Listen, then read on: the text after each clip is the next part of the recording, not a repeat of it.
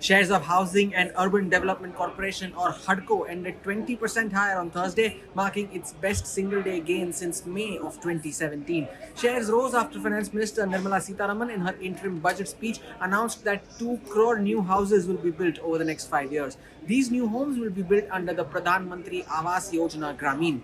As a company, HUDCO provides financial assistance for housing and urban infrastructure development projects. For the quarter that ended in September, HUDCO's disbursements grew from 719 crore rupees last year to 3,723 crore rupees. Gross NPAs at the end of the quarter stood at 3.36%, better than the 3.8% that it reported in June. With today's surge, HUDCO's shares also crossed the mark of 200 rupees, 40,000 crores in market cap, and are now up five times from their 52 week low of 40 piece of shit.